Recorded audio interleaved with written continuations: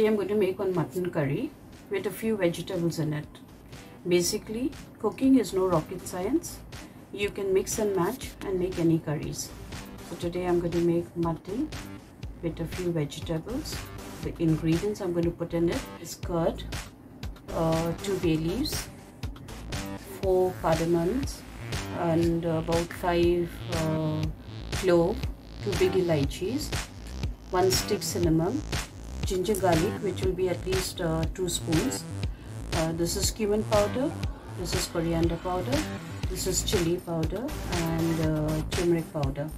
And onion will be at least 2 which I'm only showing one here.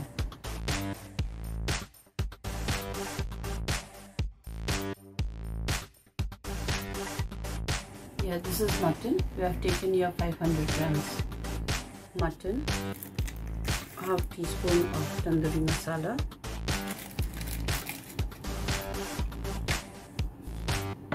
This is 2 tablespoon of curd. Half spoon of salt. Teaspoon.